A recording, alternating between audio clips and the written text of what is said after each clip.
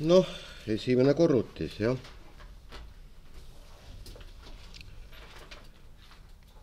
kaks korda siinus nelikümmend kraadi.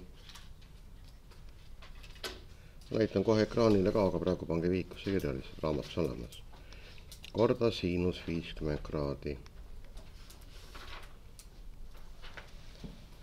ja millega see siis võrdub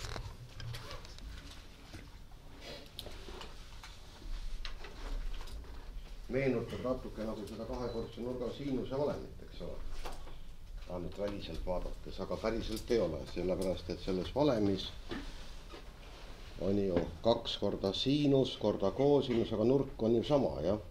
ja selles ülesandes ei ole nurk sama. ja vot need trigonomeetria valemid peavad teil peas olema. kõik valemid siiamaani, mis on õpitud, muidu meil pole midagi teha, muidu olete nagu pimedate ühingus ja ja mitte midagi me teha ei saa. nii, tuletan meelde kaks valemit. siinus üheksakümmend kraadi miinus alfa, millega see võrdub ja koosinus üheksakümmend kraadi miinus alfa, millega see võrdub. nii, millega võrdub siinus üheksakümmend kraadi miinus alfa?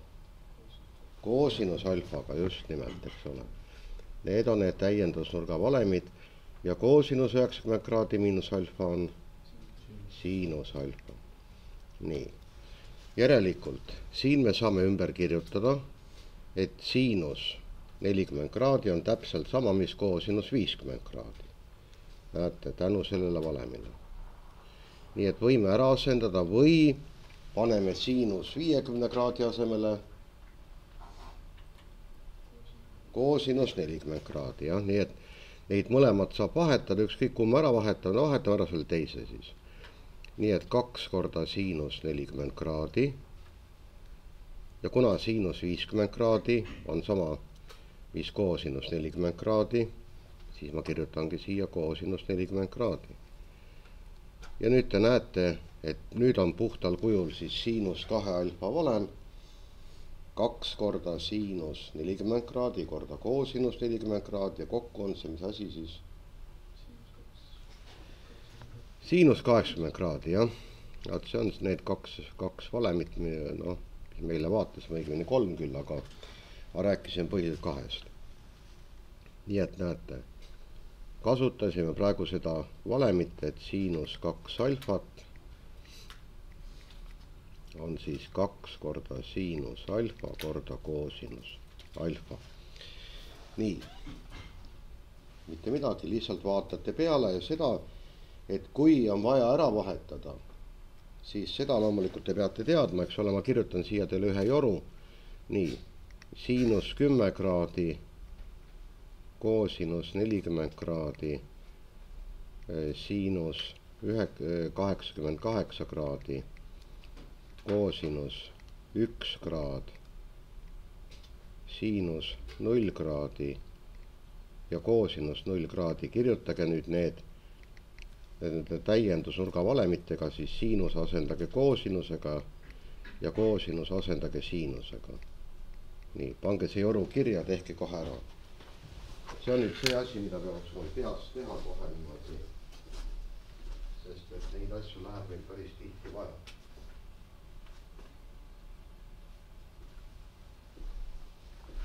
näete, siinus kümme kraadi vaatate siit, see on koosinus üheksakümmend kraadi miinus kümme kraadi. loomulikult me enam seal valemist näpuga rida ei aja, vaid asendame lihtsalt ära. et siis siinus kümme kraadi on sama, mis koosinus kaheksakümmend kraadi, jah. koosinus nelikümmend kraadi on sama, mis siinus viiskümmend kraadi. siinus kaheksakümmend kaheksa kraadi on sama, mis koosinus kaks kraadi.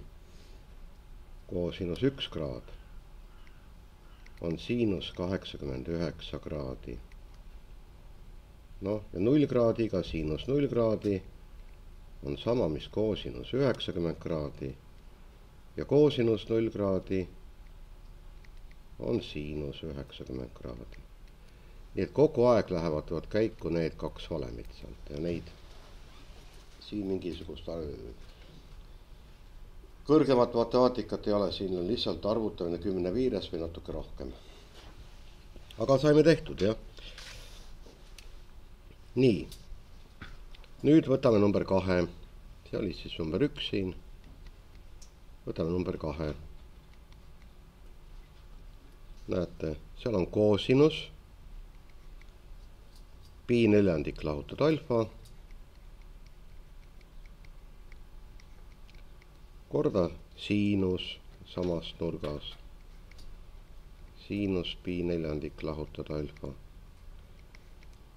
meenutab väga seda valemit jah, ainult et sealt on midagi eest puudu. on ju koosinuse korrutis, nurk on siinuse korrutis, nurk, nurgad on samad. aga on puudu, kaks on puudu ja selle kahe vot nii nagu ma eilegi näitasin, selle kahe ma kirjutan tuimalt siia juurde, kirjutan siia kahe ette. aga selleks, et see võrdlus jääks kehtima, praegu ma korrutasin selle täiesti tuimalt kahega, ma tegin selle avalduse kaks korda suuremaks. siis ma siia lõppu, selleks, et see võrdlus jääks ikkagi kehtima, korrutan kogu selle asja ühe kahendikuga, näete, kaks korda üks kahendik annab ju lõpuks mulle kokku ühe. nii ja nüüd see osa, millele ma jutti alla tõmban, näete siin, on puhtal kujul, näete, siinus kahe alfa valemi järgi. mul on kaks korda siinus mingist nurgast ja koosinus mingist nurgast. nii, see üks kahendik jääb alles, see ei kao siit kuhugi, üks kahendik, siinus ja see nurk tuleb nüüd korrutada kahega nii, mis me saame siis, palju on pi neljandik korrutada kahega? no ehk üks neljandik korda kaks. vot see ei ole nüüd koht, kus me mõtleme. üks neljandik korda kaks on üks kahendik. järelikult tuleb siit pi kahendik. Ja alfa korrutame ka loomulikult, terve nurga me korrutame kahega, nii et miinus kaks alfat. ja selline see vastus tulebki. üks kahendik korda siinus pool piid lahutada kaks alfat, aga nüüd, nüüd läheme korraks siia ja vaadake. siinus üheksakümmend kraadi mingi nurk tuleb ära lahutada. see on koosinus sellest nurgast aga meil tekkis täpselt, näete siia üheksakümmend kraadi lahutada. järelikult meie lõppvastus on üks kahendik korda koosinus kaks alfat. nii et kõikide avaldiste korral me peame alati tegema selle avalduse siis lihtsustamise lõpuni. et me ei tohi pooleli jätta. vaadake üle, kas keegi tahab küsida. aga nende avaldiste lihtsustamise eelduseks on see, et me kõiki valemeid teame peast. noh, ta võib ka seal, see valem võib ka paberi peal praegu kirjas olla, midagi halba selles ei ole. aga idee poolest nad peavad kõik peas olema, sest meil tuleb hakata siin ju erinevate valemite vahel, eks ole, valima ja kui te neid valemeid ei tea, no siis mille vahel sa valid, eks ole. nii, võtame ülesande number kolm. kirjutame lahti vaatame, mis juhtub.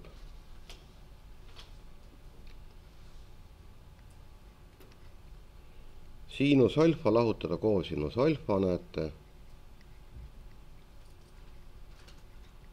on ruudus ja liidetakse siinus kaks alfat.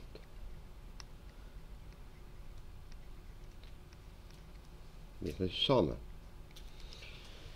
no see ruut tuleb lahti kirjutada et ärge nüüd oodake issand õnnistust ja kohe niimoodi kiiresti läheb see asi. kirjutage lahti A miinus B ruutu valemiga. ega seda oodata ei ole midagi.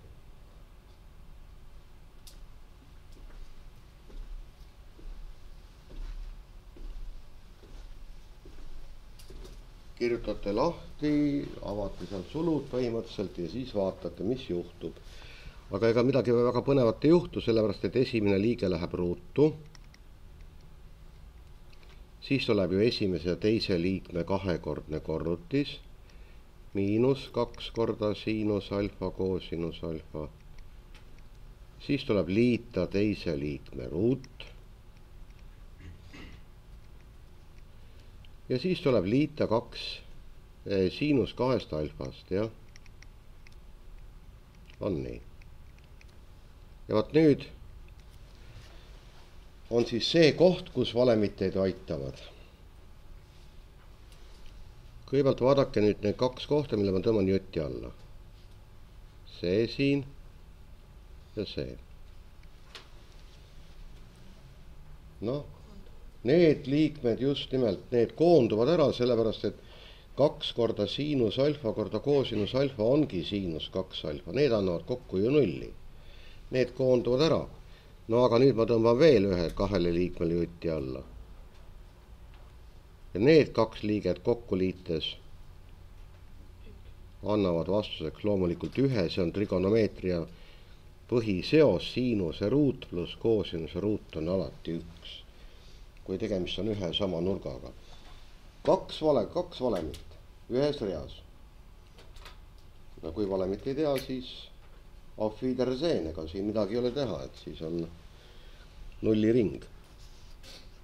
nii. kirjutame nüüd neljanda, igaüks kirjutab lahti. aga vaadake, nüüd on koosinus kaks alfa valem seal. tuleb kaks korda koosinuse ruut ja koosinus kaks alfat. mis me teeme? Koosinus kaks alfat, see tuleb valemi järgi lahti kirjutada. siin muud võimalust ei ole. aga seda te peate teadma nüüd juba eilse jutu järgi. las esimene liige jääb täpselt nii, nagu on esialgu. et koosinus kaks alfat on koosinuse ruut lahutada siinuse ruut. aga kuna ees on miinusmärk, ma isegi teen praegu niimoodi, et kirjutan pikalt koosinuse ruut lahutada siinuse ruut.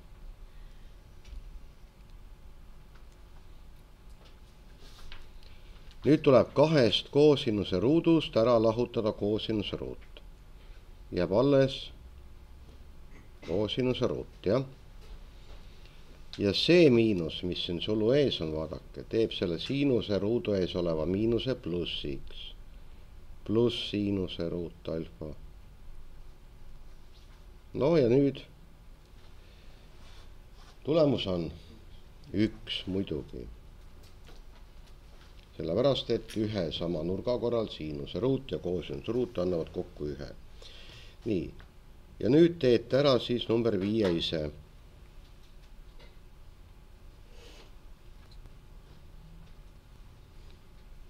vaatame, mis sealt tuleb siis üks lahutada kaks siinuse ruutu.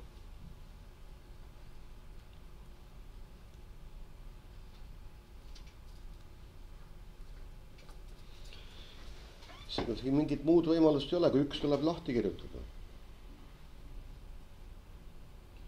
vaat see, need on ülesanded, kus pähe õppida ei ole enam võimalik niimoodi, gümnaasiumi matemaatikas ei olegi võimalik, et, et õpime kümme ülesannet pähe ja siis me oleme kangesti targad, no vot ei ole vastu üheteistkümnes ülesanne eeldab seda, et me ikkagi oskame mõelda ka, et mitte lihtsalt pähe õpitud teadmistega siin enam kaugele ei saa. põhikoolis oli see võimalik, enam mitte.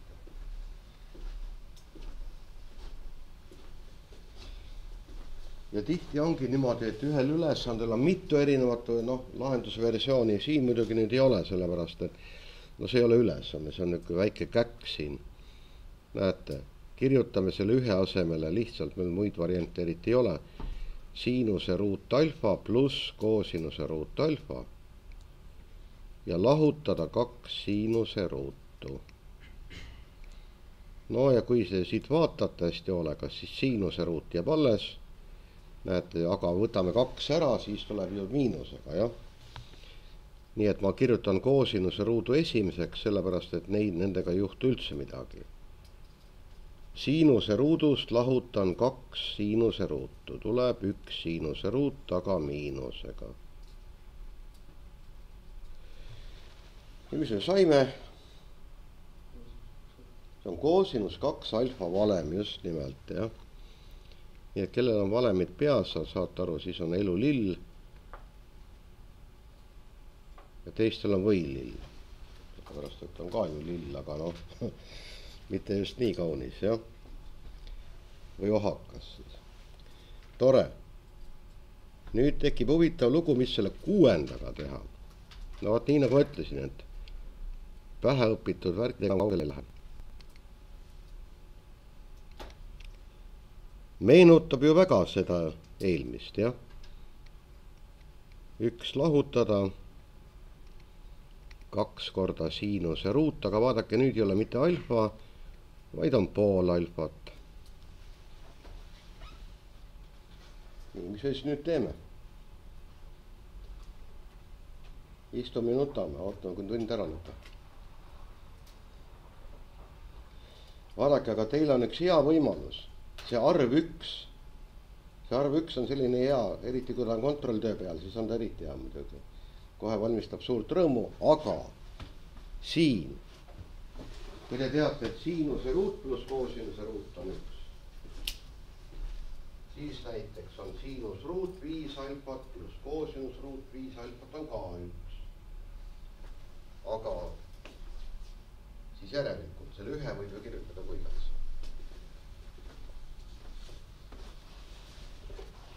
kuna jutt on, et ühe ja sama nurga siinuse ruut pluss koosinuse ruut annab kokku alati summas ühe.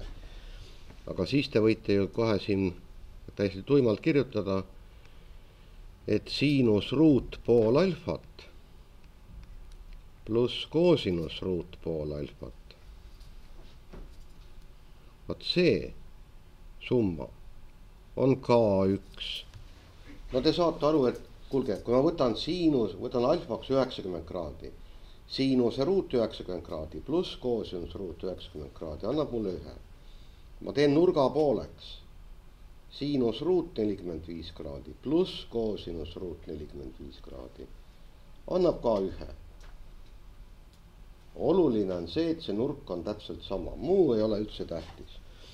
ja nüüd te panete siia lõppu lahutada kaks korda siinus ruut alfa kahendik. no aga edasi läheb juba täpselt nii, nagu eelmises läks.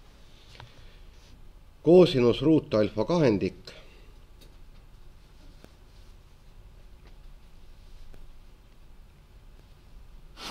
ja kui sa siinuse ruudust ära lahutad, kaks siinuse ruutu, siis jääb miinus siinuse ruut alfa kahendik nii, nüüd küsin, kas see, mis on viimases reas, kas see on kahekordse nurga valem? On küll, aga kui meil enne oli alfa oli nurk, eks ole, siis kahekordne nurk on kaks alfat. nüüd, kui meil nurk on alfa kahendik, mis siis on kahekordne nurk? no see on keeruline küsimus nüüd, kui ma pool alfat korrutan kahega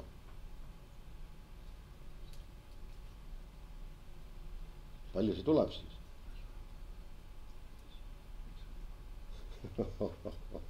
ma lähen sealt kõrvalt klassist toon mõne tegelase, kes oskab ühe kahendiku oskab kahega korrutada.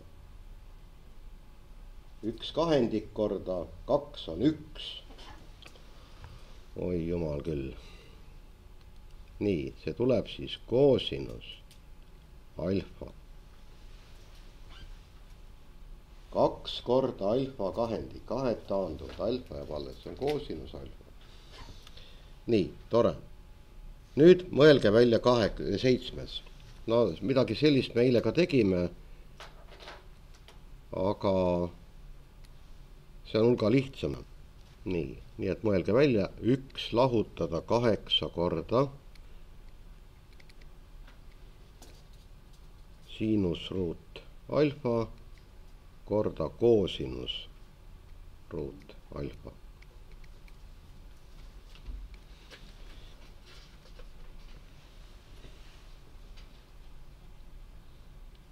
Nii, minut aega, vaatame, kes saab, kes saab selle asja tehtud. aga nii palju ma ütlen teile kindlasti vihjeks, et vaadake seda korrutist, et see meenutab väga teil ju kahekordse nurga siinuse valemit, aga nüüd te peate ta lihtsalt niimoodi mõistlikumal kujul kirja panema.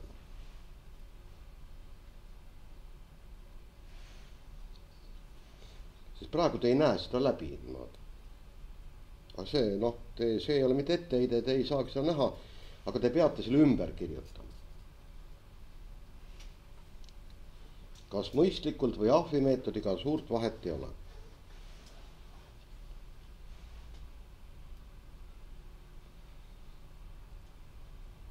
noh, ahvimeetodiga isegi annaks võib-olla sellise parema efekti.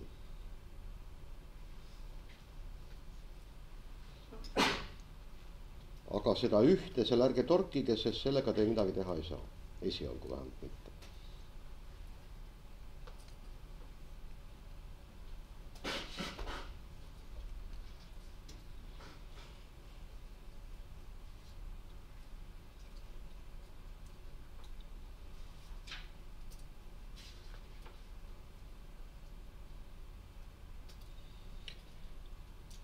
Nii, aga meil on vaja kuidagi tekitada see olukord, et meil oleks siin vot selle korrutise ase, asemel oleks midagi sellist, kaks korda siinus alfa korda koosinus alfa. sest see osa, keda te juba teate, et see on siinus kaks alfat, jah, on nii. no ega meil midagi muud üle ei jää siis kirjutame lihtsalt ahvi meetodiga selle üks lahutada, kuulge kaheksa nüüd. kaheksa on kaks korda kaks korda kaks, jah. see on nüüd tähtis koht siin. ja nüüd näete siinuse ruut ja koosinuse ruut ja ma kirjutan kaks korda siinus alfa korda koosinus alfa. ma panen ta praegu meelega sulgudesse, siis ta hakkab paremini silma ja näete, mul on kaks korda kaks on olemas, mul neli on olemas, mul on vaja veel kahte. ja mul on vaja veel ühte siinust ja ühte koosinust. kaks korda siinus alfa ja koosinus alfa. no nüüd on tõesti niimoodi, et et tegime nüüd ikka väga tükkideks, aga nüüd te ju näete, kontrollime ära, kas see asi klapib ka meil. üks on üks, kaheksa, kaks korda kaks korda kaks klapib. siinuse ruut on siinus korda siinus, täiesti olemas. koosinuse ruut on koosinus korda koosinus, kõik on paigas. võrdlus kehtib, aga sulgude sees, esimese sulu sees näete, on teil siinus kaks alfat, on. teise sulu sees on teil ka siinus kaks alfat ehk kokku saame üks lahutada kaks korda, mis asi, siinus ruut kaks alfat.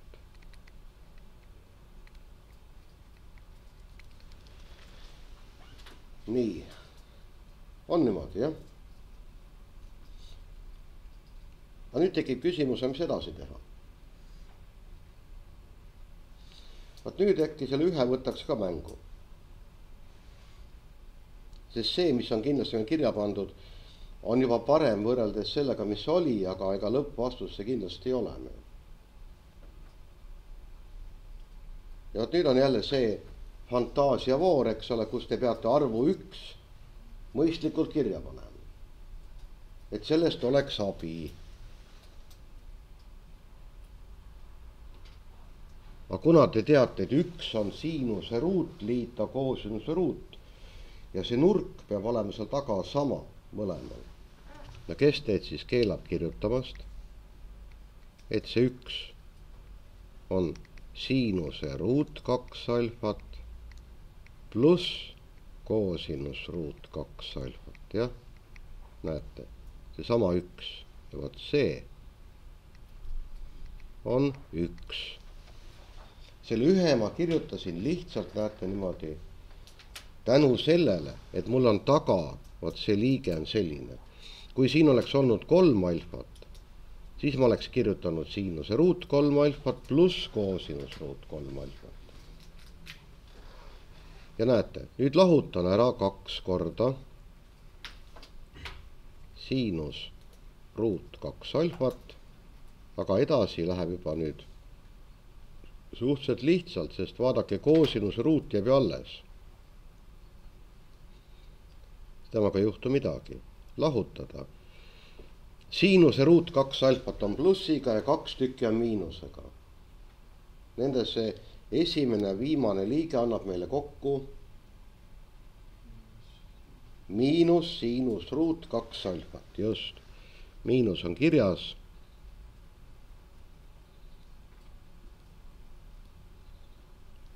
nii, kas see on kahekordse nurga koosinuse valemi moodi? No on küll, puhtal kujul. ja mis see lõppvastus siis on? koosinus neli alfat, just nimelt. kui me korrutame selle korda siinus kaks alfa, miks selle siinus ruut neli alfa oota, ei saanud aru, kus kohal? äh, üleval, kui me korrutame need kaks siinust, kui me korrutame siinus kaks alfat ja siinus kaks alfat, siis tuleb siinus kaks alfat ruudus.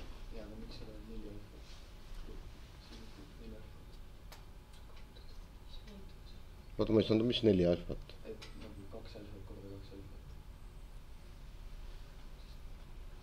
nagu oota, kas on, ma mõtlen siinus ruut neli alfat, miks see nii kus see neli alfat on, ma ei näe.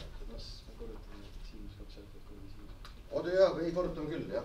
nii, kas sa nüüd tahad küsida seda, et siinus kaks alfat korda siinus kaks alfat, et miks ei ole siinus neli alfat siinus neli, neli alfa. aa, sa tahad tuua teha matemaatikas revolutsiooni, okei okay,, see on võimalik. selline mees oli nagu Vladimir Lenin kunagi, lõpetas halvasti, suri ära. aga vaata, sul on nurk. ma võin selle tähistada beetaga näiteks, jah.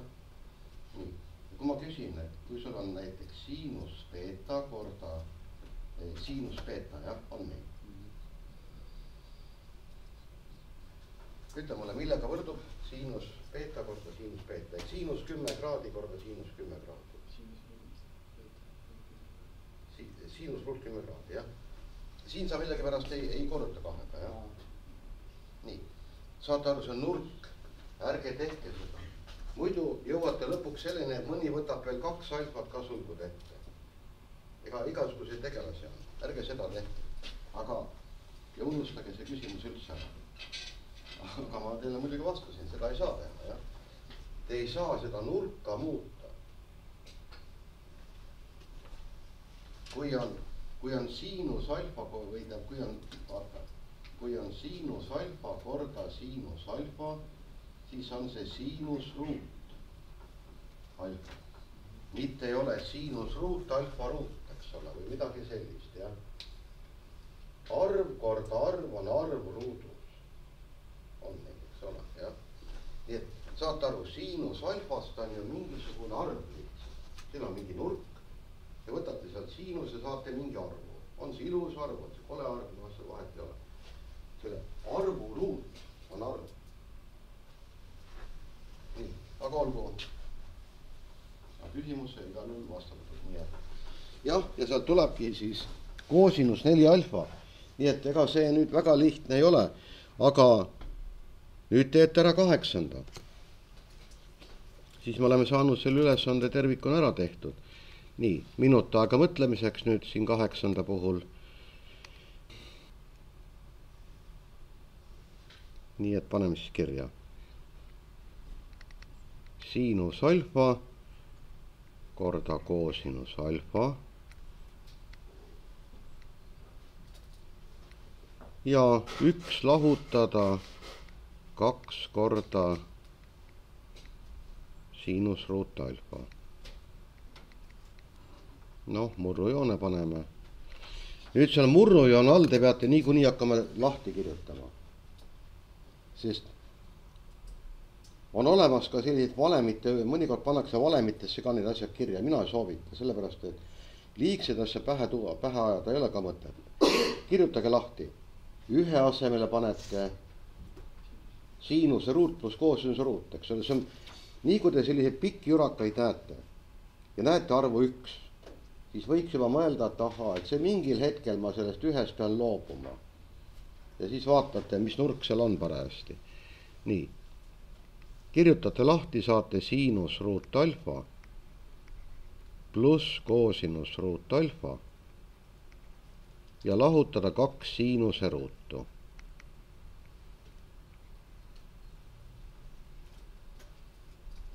üleval siin murrujoone peal midagi tarka me teha ei saa. et ärme hakka siin üle pingutama, eks ole, et siin võib ju lõppeda halvasti muidu. Nii, siinus alfa, koosinus alfa. ja nüüd teeme natuke siin peast ka. koosinuse ruut jääb alles. ja täna kolmandat korda ühest siinuse ruudust me lahutame ära kaks siinuse ruutu mis siis jääb? miinus siinuse ruut, jah. ja nüüd on see jällegi, tunneme ära. siinus alfa, koosinus alfa ja siin murrojoone all on koosinus kaks alfat, jah. on nii. valem ja nüüd läheme selle ülemise osa kallale. kuulge, see ülemine osa meenutab meile siinus kahe alfa valemitega, sealt on midagi jälle puudu.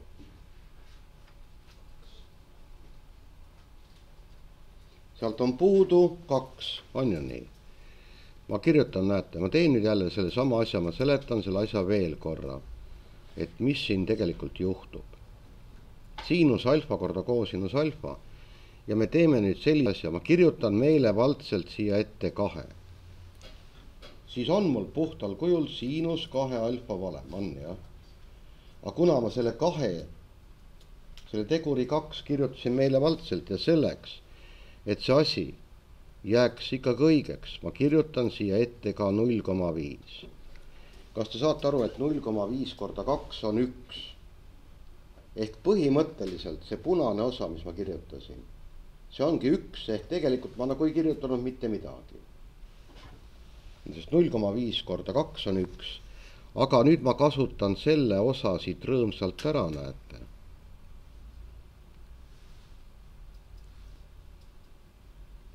Nii, null koma viis. toon päris murrujoone ette kohe.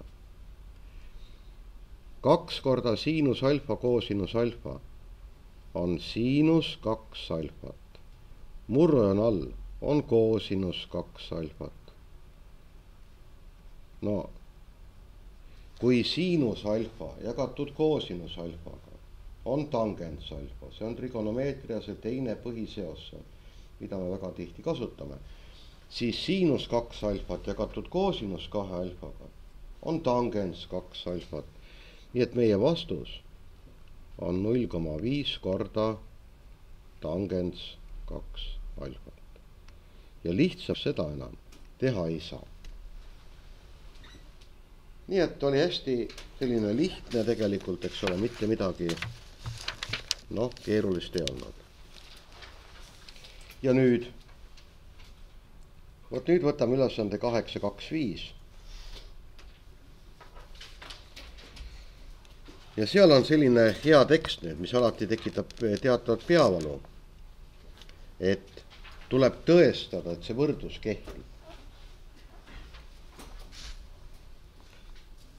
no nii nagu ma nende avaldiste kohta teile juba olen siin rääkinud korduvalt. et sa võid ju teha kõik teisendused õigesti. aga sa ei saa kaugeltki seda, mida su käest tahetakse, asi läheb järjest keerulisemaks, eks ole, siis mingil hetkel noh, tuleb loobuda, lihtsalt valida mingi teine tee. et lihtsalt eh, see teisendus, mida te seal nagu hakkasite seal arendama, niimoodi ilmselt ei vii sihile. ja kuna trigonomeetria puhul on neid valikuvõimalusi hästi palju kogu aeg, eks ole, siis selle õige raja leidmine noh, alati kõige lihtsam tee, võimal- või asi ei ole. aga no number ühega on tõesti asi küll lihtne. nii, paneme kirja.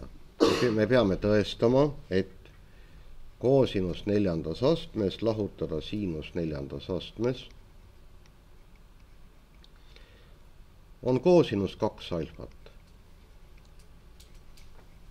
ma panen teile vihjeks ühe asja. Kirja siia teile, et koosinuse ruut on ka koosinus kaks alfat. ahhaa, see on valem jah. See, see rohelisega tege-, tekst ei ole üllatus teie jaoks, see on valem, seda peate peast teadma. nüüd on küsimus vaid, mida teha selle võrdluse vasaku poolega, vot siin, esialgses ülesandes, vot sellega. me peame seda vasakut poolt seni teisendama, kuni me saame kätte parema poole. kuidas? ruutude vahe vale just nimelt. sest vaadake, kui on neljas aste, siis te ju teate, ma kirjutan korraks, näete, ruutude vahe. Vot need algebra valemid ja need peavad olema peas. sellepärast, et äh, muud ei aita. näete, neljandat astme kehtib samuti ruut. ainult, et teil ei tule sulgudesse ainult A miinus B ja A pluss B vaid nende ruudud, eks ole. nii et A ruut lahutada B ruut ja A ruut liita B ruut. Noh, aga kuulge, siis on ju, siis on meil ju idee olemas. nii et lahutada siinus neljas aste ja ruutude vahevalemiga kirjutan lahti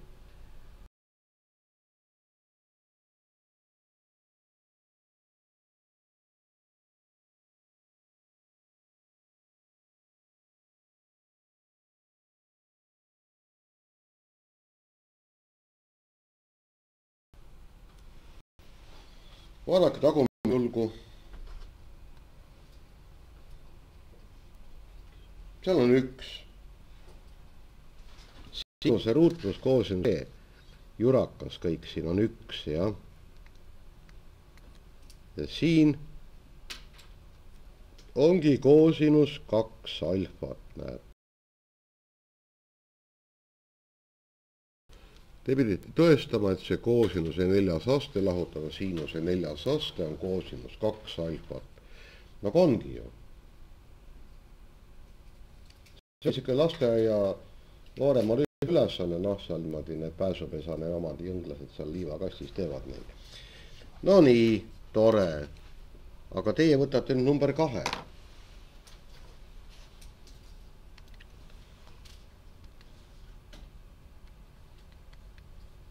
ja peate siis tõestama vot sellise huvitava asja, nii, mina panen selle kirja siia, neli korda.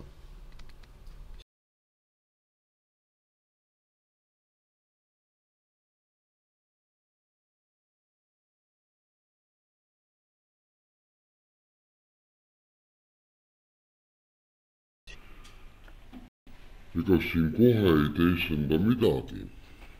nurgad on erinevad.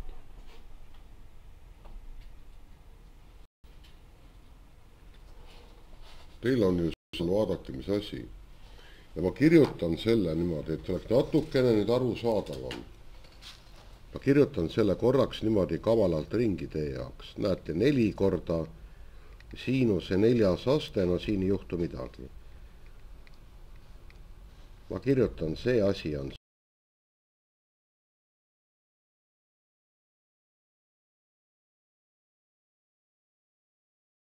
on mis asi?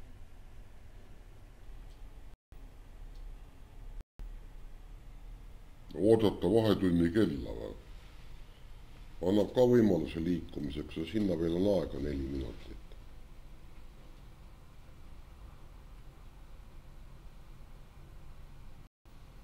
no aga mis te siis teete, inimesed?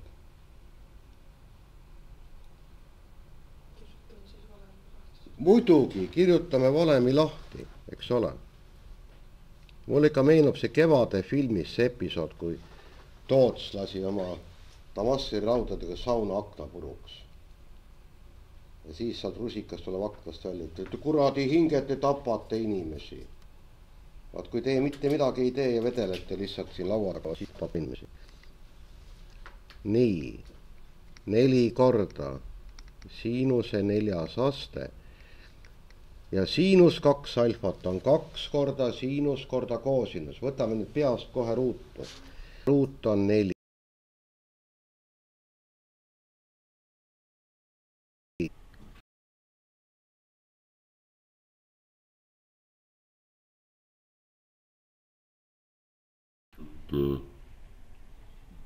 siinuse ruudu, eks ole, on ju nii, näete. ruut alfa. Neli on läinud, siinuse ruut on läinud, siit esimesest jääb alles siinuse ruut.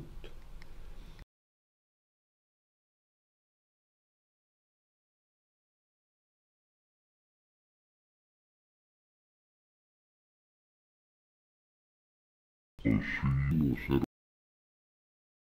vaadati, mis on selles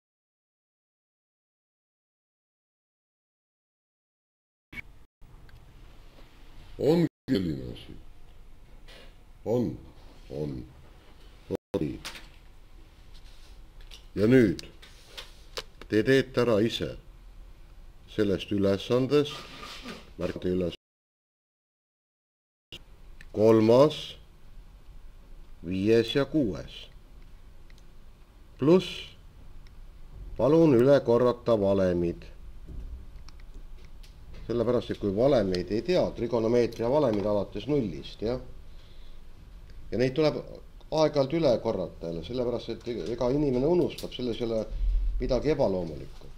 nii, palun need korralikult üle ja siis kontrolli või kontrollida, kas te teate üle korrata